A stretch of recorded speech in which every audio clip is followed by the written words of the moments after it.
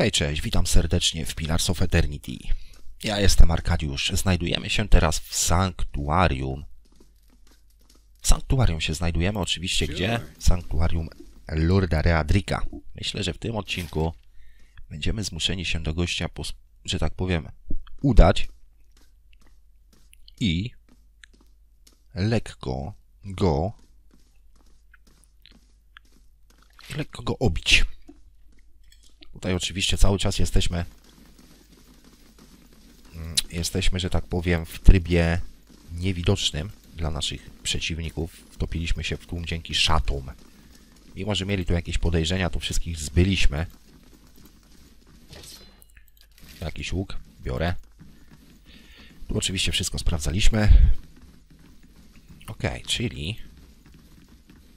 Czyli zejdźmy sobie po prostu niżej. Tutaj jeszcze mamy jakieś drzwi, kurczę, które są nieotwarte. Czy otwarte są? Do wyższych murów. Okej. Czyli tam już byliśmy. W takim razie wejdźmy do tej do tej całej kuchni, ale, ale zanim tam pójdziemy, jeszcze chciałbym przyjrzeć się, co my tu mamy. Zręczność. Zręczność niewątpliwie przyda się. Co tutaj masz? Zawiera pomniejsze zaklęcie lekkie przywrócenie wytrzymałości. Dobra, to damy Ederowi. To damy niezłomnemu. Czy posiada jakieś rękawice? Niekoniecznie.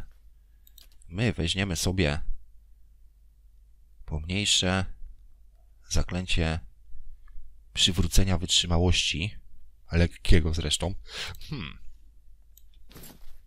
Masz ode mnie. Alutuch.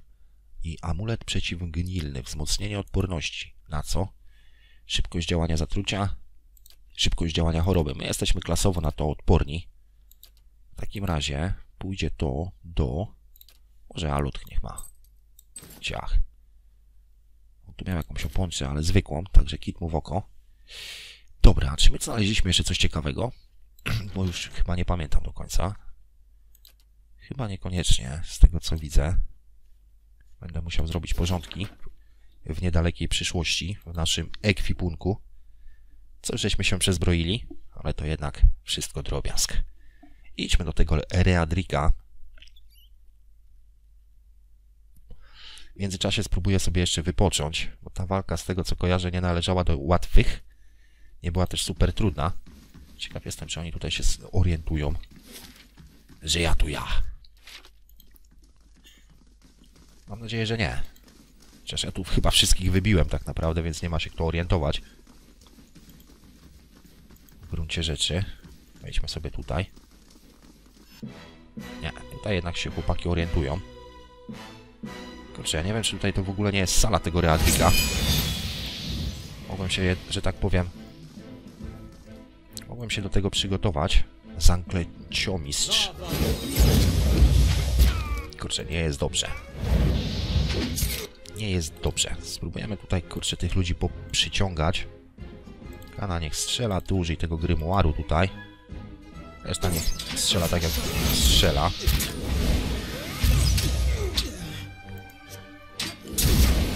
Ale kurczę zasadził. Ale tutaj jednak widzę, faktycznie działają nawet te Dobra, Alot jest mocno ranny.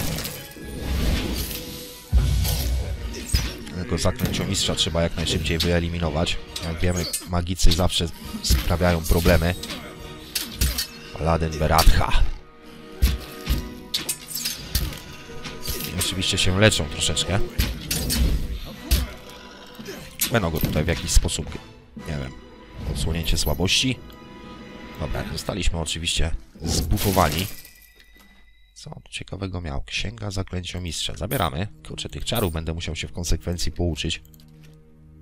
Tak sobie zwlekam z tym. W każdym bądź danym razie przebierzmy się w nasze stroje wyjściowe, że tak to określę. To najważniejsze teraz.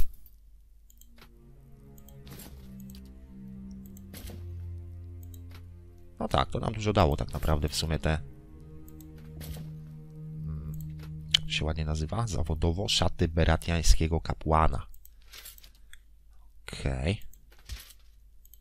Okay. Zamieniamy sobie wszystko na odpowiednie rzeczy. Dobra, czyli generalnie mamy wszystko mamy wszystko cacy. Mamy tutaj te dwie książki również. Będzie czym handlować, będzie się czego uczyć. Dobrze, czy jestem w stanie wypocząć tak naprawdę? Redukcja obrażeń. Tutaj cały czas, wiadomo, po tym dobrym odpoczynku mamy jeszcze przymioty. Mogę tu odpocząć? Mogę, co dziwne. Teoretycznie można sobie to wytłumaczyć w ten sposób, że oni wychodzą gdzieś na zewnątrz i sobie tam palą to ognisko i odpoczywają. I tak też trzeba sobie tłumaczyć. Dobra. Nie, nie ma co wnikać, wchodzimy. Tutaj widzę jakiegoś zawodnika, który w ogóle nie chce specjalnie podejść. Strażnik Readrika. No dobra.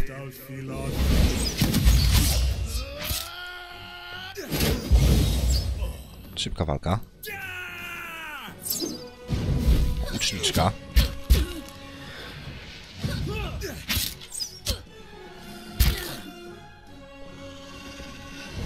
Tak, tutaj te drzwi prawdopodobnie mogę otworzyć sobie tym kluczem, który otrzymałem, oczywiście. Otrzymałem od tego zaprzyjaźnionego kapłana, który, u którego na górze żeśmy, że tak powiem, uzyskali od niego konkretne informacje. On wspominał coś, że możemy się dostać, że tak powiem, bezpośrednio, jakby idąc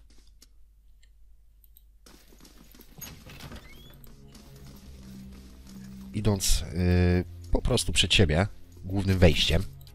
Można również dostać się tam bardziej skrytym sposobem. Tak będę spróbował tak właśnie to zrobić, jeżeli uda mi się oczywiście odnaleźć to, o czym on mówił. Przejdźmy sobie do trybu skradania, przyspieszmy czas. Coś tu będzie ukrytego gdzieś. Okej. Okay. Tak czułem. Coś tutaj, kurczę, cała masa rzeczy. Fiolki. Pistolety. Jakieś zamknię zamknięte skrzynie, a w niej rękawice celności. No dobra. Zakurzone księgi zawierają zapisy płatności podatkowych z gospodarstw w zwłoconej dolinie. Tędy można było się jakoś tutaj dostać. Aż z ciekawości zobaczę, gdzie to mnie zaprowadzi. Hm.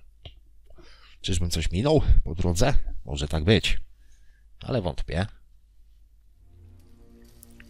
O kurczę. Czyli tutaj gdzieś muszą być jakieś... Coś ukrytego tak naprawdę. Jakiś przełącznik, który by mnie tutaj zaprowadził. Mhm. Z tej komnaty prawdopodobnie jakoś można się było tu dostać. No proszę. To ciekawe. Nie ma tego jak otworzyć. No nic, nieważne. Nauka na przyszłość. Jak będę kiedyś zaczynał po raz trzeci, to będę szukał tego wejścia, jak będę pamiętał. Ale nie będę, nie będę pamiętał. W każdym bądź danym razie lecimy. O kurczę, tutaj jakieś w ogóle masakry. Ok, jest jakaś pułapka. W takim razie rozbrójmy ją. No i proszę, pas stępienia, premia, redukcja obrażeń kłutych i ciętych. Łykamy. Krew nadal ścieka z rozciętego gardła kobiety, barwiąc pościel na czerwono. To spodziewam się jest żona Readrika. Poczerniałe stronice zawierają się w ogniu, skórzana oprawa z symbolem wschodzącego słońca i trzech gwiazd. Jest ledwie widoczna wśród płomieni, czyli on ją tutaj zabił, po czym wrzucił jej księgę, co czytała prawdopodobnie. Trudno wyczuć, jak tutaj się historia odbyła. No i dobra, tutaj będzie prawdopodobnie cały ten Lord, kurczę, Readrik. Czempion Beratha, Paladynka, tak czułem. Całe szczęście chwilowo nas nie atakują, to dobrze. Otwórzmy sobie jeszcze te drzwi. Weszliśmy w ogóle tak naprawdę na bezczela głównym wejściem. Bez zbędnego pieszczenia się. Teoretycznie można było tutaj jeszcze jakoś dostać się do gościa. Z ciekawości oczywiście nie byłbym sobą, gdybym tego nie sprawdził, gdzie mnie te schody wyniosą. O kurczę.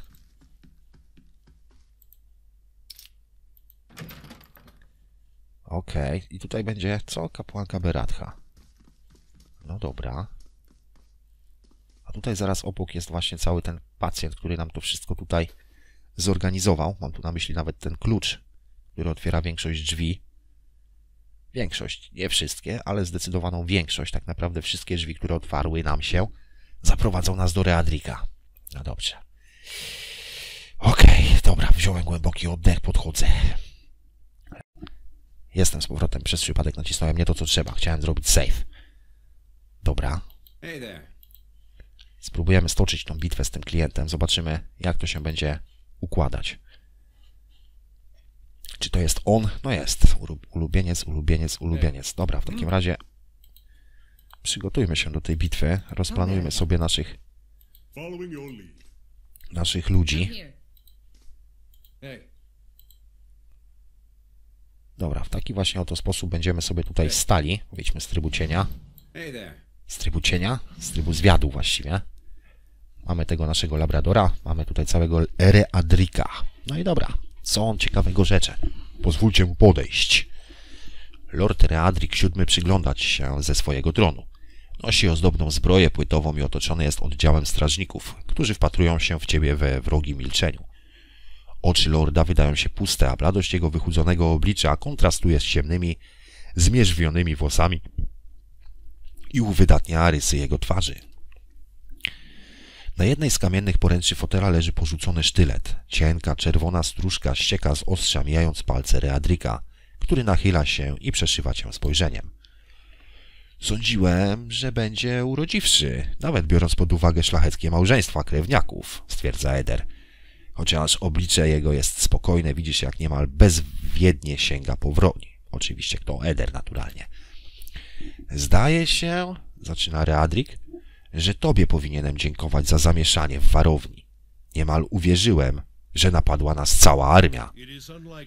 Do Kolska nie pasuje zatrudnianie najemników, mówi Readrik niskim i chrapliwym głosem, wpatrując się w ciebie.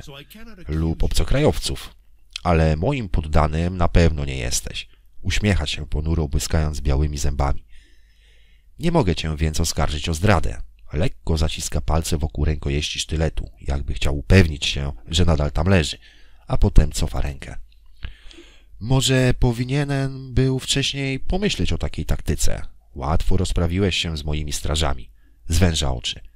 Dobrze i wiernie mi służyli. Lojalność wobec mnie jest moich... Lojalni wobec mnie lub moich pieniędzy, stwierdza Readrik. Zasłużyli na lepszy los niż ten, który im zgotowałeś. Cóż to obiecał ci mój kuzyn? Jakąż ogromną nagrodę. Gdyby było go na taką stać, nie czyhałby na mój majątek. Twarz Readrika tężeje. A gdyby posiadał chociaż odrobinę honoru, nie podejmowałby tej próby tu i teraz, kiedy tak wiele utraciłem. No dobra, oczywiście mamy osiem opcji. Możemy oczywiście podpytać gościa, wskazując ręką na sztylet, co tutaj zaszło. My wiemy, że on prawdopodobnie zabił tą swoją małżonkę, ale że tak powiem, niech nam to powie. Readrik odwraca lekko głowę, by spojrzeć na sztylet. Jego twarz nagle nieruchomieje. Wydano sprawiedliwy wyrok. Głos mu się łamie i na moment przez jego oblicze przemyka wyraz rozpaczy. Czyli jednak ją zabił. Ygret wiedziała. Ukryła przede mną wersety i znaki.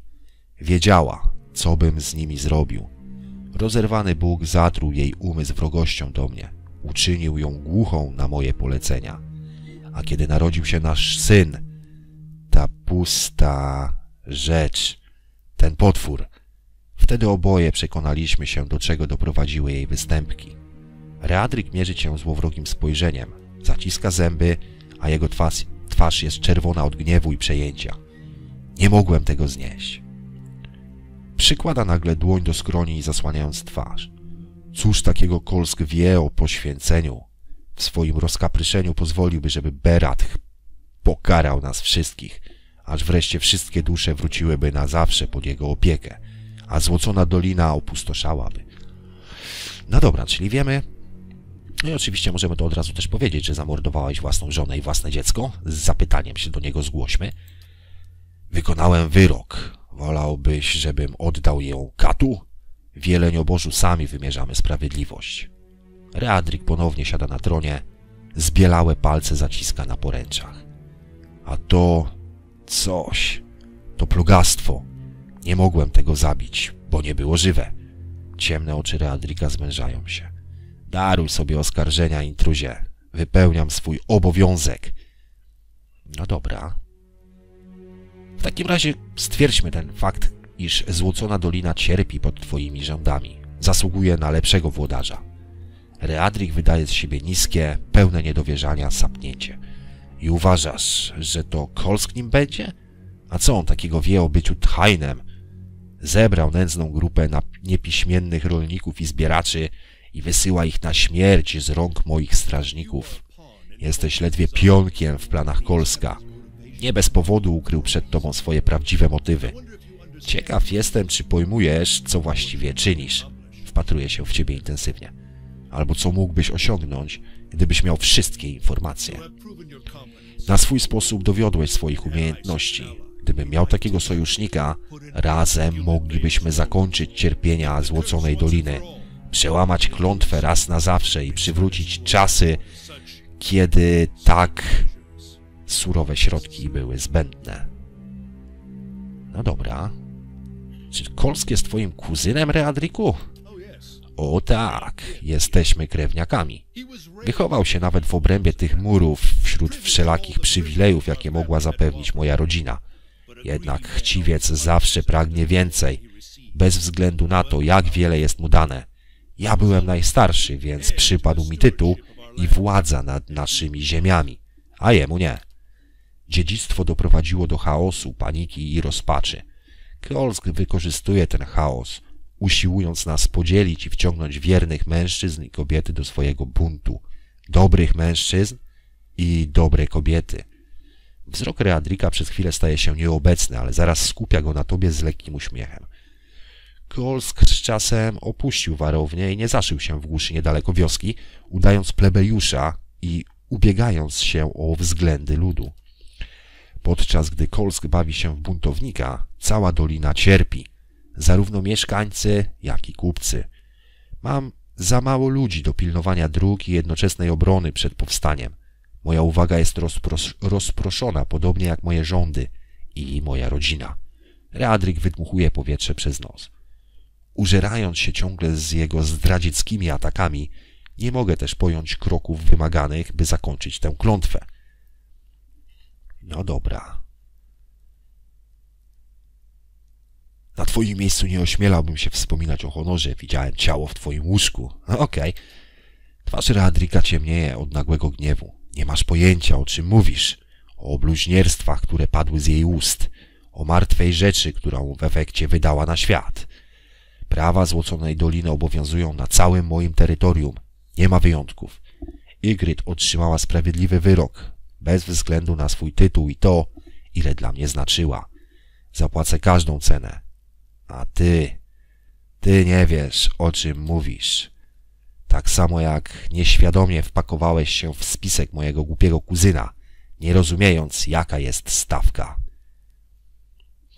Dobra, czyli coraz więcej opcji, że tak powiem, sprowadza się do tego, że będziemy gościa atakować. Ewentualnie możemy jeszcze go, że tak powiem, troszeczkę przytrzymać w niepewności i stwierdzić, iż nie przyszliśmy tutaj słuchać przemowy, tylko żeby cię powstrzymać. Ciach. Powstrzymać mnie przed ocaleniem złoconej doliny? Przed krokami niezbędnymi, by przełamać tę klątwę i uratować nasze dzieci? Jaki cel ci przyświęca? Readrik Barska z pogardą. Nie. Nie zamierzasz posadzić na tronie Słabeusza tylko dlatego, że się tego domaga i krzyczy, że to sprawiedliwość. Jesteś ledwie pionkiem w planach Kolska. Dobra, co masz na myśli? Posłucham tego tak naprawdę. Bardzo dobrze, rzeczy Readrik. Stawka jest zbyt wysoka, żeby działać pochopnie. Readrik nachyla się ku tobie. Zapewniam, że w Zatoce Buntu dowiedzą się, że mi pomagasz. Masz możliwość rychło zakończyć to powstanie. Zbyt wiele środków zmarnowałem już, by powstrzymać Kolska i zapłaciłem za to. Zabij go, a ja będę mógł się skupić na tej klątwie. Mój kapłan i animantka są w stanie znaleźć lekarstwo. Moja rodzina będzie ostatnią, którą dotknęło dziedzictwo. Bo ja wiem, może i lepiej, że jest ktoś, kto odwraca jego uwagę od wymordowania reszty wioski, nawet jeśli sąsiedzi byli dla mnie niemili. Rzecz Eder. Niewątpliwie próbowałeś omamić cię ugarstwami, chcąc przeciągnąć cię na swoją stronę. Pozwoli ci podejść do siebie, żeby móc cię dalej urabiać. Wtedy będziesz miał okazję uderzyć. Okej, okay. naprawdę postradałeś zmysły, jeśli sądzisz, że ci pomogę, Readriku. Readrik pochmurnieje jeszcze bardziej, ale tylko kiwa głową. Niech tak będzie. Wstaje z tronu, a jego straże przyjmują pozycje bojowe. Niech bliźniaczy Bóg zlituje się nad twoją rozdrobnioną duszą i rozrzuci ją na wietrze. No i dobra, to by było na tyle, czyli rozpoczynamy starcie. Mamy całego tego Readrika, faktycznie. Mamy tutaj jego jakiegoś ulubieńca, Beratha zresztą. Mamy arcymaga, mamy ochroniarza, paladynkę, czempiona i łucznika. Tutaj nikt więcej się, widzę, nie pojawił. W takim bądź danym razie rozpoczniemy sobie od... Dobrze by było tego arcymaga na początek, że tak powiem, ogarnąć. Wpadnijmy tam, spróbujemy tego Readrika przyciągnąć do siebie, mimo że go jeszcze nie widzimy. Weźmiemy sobie tą całą obrońcę, umiejętność. Co się tyczy niezłomnego. Niezłomny na razie niech sobie zostanie. Oczywiście... Oczywiście Sagani. Sagani sobie poleci tutaj, kurczę, czempiona. Również Kana niech tutaj atakuje. I również niezłomny, niech, znaczy niezłomny, Alot, niezłomny również niech atakuje tutaj. Zobaczmy, jak to się ułoży teraz. Wydajemy polecenie naprzód. Dobra. Generalnie skoncentrowali się na mnie. To wcale nie jest najgorsze. Mamy oczywiście buffa ze strony yy, ze strony Kany. Dobra, w takim razie jedziemy. Grimoire. Kana niech oczywiście dalej sobie walczy. Sagani. Dawaj tego czempiona. Ja oczywiście zaczynam być poważnie ranny. Spróbujemy sobie tutaj gości lekko, że tak powiem, oczarować. Niezłomny. Stwórzmy pieczęć, która będzie razić naszych przeciwników. No i zobaczmy, jak to się ułoży. Kurczę, ja jestem ogólnie przestraszony mocno. A nie, to jest ten czar. Dobra. Okej. Okay mocno zostałem, że tak powiem, kurczę, po zaworach. Ci goście również dostali bardzo mocno. Dobrze byłoby się, że tak powiem, złapać sobie ten drugi oddech. Alot będzie przyciągał. Niezłomny. Hmm. Weźmy sobie tutaj pewność siebie, chociaż kurczę nie jestem, że tak powiem, mocno skoncentrowany. Dobra, zróbmy tak. Będę się starał uzdrowić, może mi się uda oczywiście strzelać, strzelać. Tego Readrika jak zniszczymy, myślę, że wtedy będzie dużo łatwiej. Ich morale powinny upaść. Kurczę, generalnie na chwilę obecną to ja tutaj tylko padłem. Ale to nic. Jak oni tutaj wyglądają? Kurczę, tu są mocno ranni, ale niestety się leczą. Readrik jest w pełni, że tak powiem, zdrowia. No dobra, spoko takim bądź danym razie spróbujmy sobie dobić go kulami. Kana niech sobie oczywiście śpiewa i tańczy. Tutaj będzie dobrze, tutaj będzie dobrze. Spróbujmy. Kurczę, Readrik się trzyma, jednak nie, padł. Ok, w takim bądź danym razie jedziemy dalej. Kto może, kto będzie naszym głównym celem drugim? Myślę, że spokojnie powinniśmy sobie poradzić z tym ochroniarzem na początek kule. Dawać kule. Dobra, mamy kolejnego z, z głowy. Niezłomny. Tutaj dostaje poważne razy. Koncentrujemy się teraz na tych magach wszystkich. Spróbujemy go wycofać. Może się uda. Ewentualnie użyć tego wytchnienia całego. Eder, dobra, przyciągaj tego pajaca do siebie. Wierzę, że ci się uda. Dobra, mamy gościa z głowy. Kto dalej? Dalej spróbujemy sobie tego czempiona tutaj zgładzić. Palące rany, to by było spoko. Dobra, dawaj tutaj w takim razie. Zobaczymy, co z tego wyniknie. I ten tumak cały zamiast atakować, to sobie... W ogóle Readryk jeszcze cały czas żyje. Ja myślałem, że on tu gdzieś padł. Pewnie to było jego... E, jego jakieś widziadło.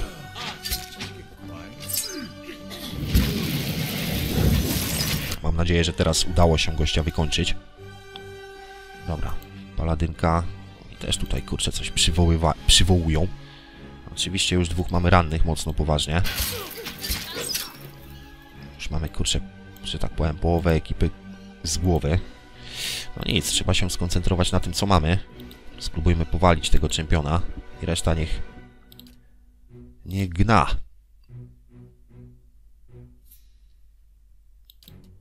Spróbujemy sobie kogoś uleczyć tak naprawdę, tylko kogo? Hmm, może pójdźmy sobie, chociaż na razie nikogo nie trzeba leczyć, wszyscy są w miarę zdrowi. Oprócz tych, którzy nie żyją oczywiście.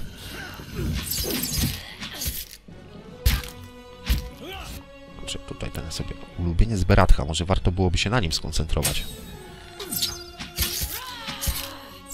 Oczywiście nie mogę tego zrobić, bo po co? Łapiduch. No dobra, dawaj, kurczę, tego trzeba uzdrowić koniecznie.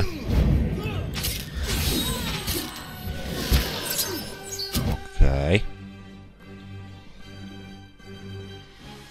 Ja ich tutaj niby, kurczę, gładzę, gładzę, a oni cały czas mają masę życia. Tak naprawdę. Tutaj jest łucznik, on raczej nie stanowi wielkiego problemu. Ci magowie, kurczę. Ci magowie. Pokończyły mi się wszelkiego możliwe umiejętności, także nie jest dobrze. Eder za chwilę padnie.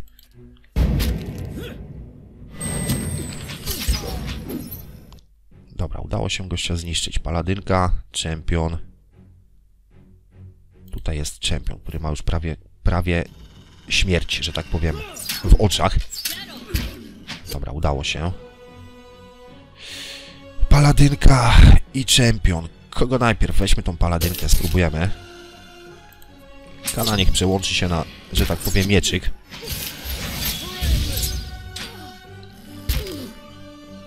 Ładnie idzie.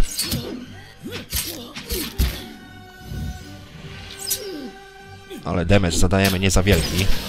Dobra, w każdym bądź danym razie mamy ją z głowy. Zostaje nam jeszcze czempion. Ten tumak cały funkcjonuje? Funkcjonuje. Niech zajmie się w takim razie może tym łucznikiem.